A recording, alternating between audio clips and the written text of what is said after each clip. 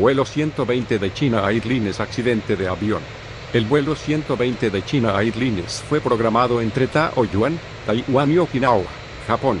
El 20 de agosto de 2007, el Boeing 737-809 que operaba la ruta, se incendió y explotó después de aterrizar en el aeropuerto de Naa. Cuatro personas, una de ellas en tierra, resultaron heridas en el hecho. El avión aterrizó de manera normal a las 10.26 m. hora local, y carreteó hasta el hangar. Los operarios en tierra notaron humo saliendo del motor 2, al tiempo en el que el piloto apagaba dicho motor. Informado de la situación por los controladores aéreos, el piloto ordenó una evacuación de emergencia. Todos los pasajeros y tripulantes lograron abandonar la aeronave de manera segura usando los toboganes de las salidas de emergencia.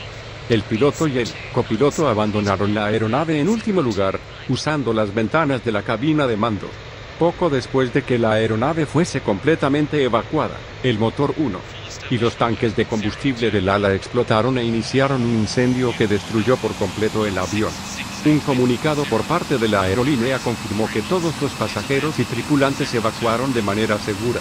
El hecho dejó cuatro heridos, un hombre de 57 años con problemas de hipertensión, una niña de 8 años que se golpeó tras caer del tobogán, un miembro del aeropuerto herido durante la evacuación y una azafata que cayó al suelo al explotar la aeronave.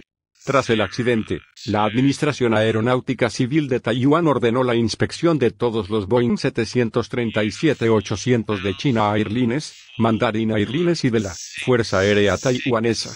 La Comisión de Aviación Civil japonesa pidió a los operadores japoneses de Boeing 737-700 y 737-800 realizar inspecciones similares a dichas aeronaves.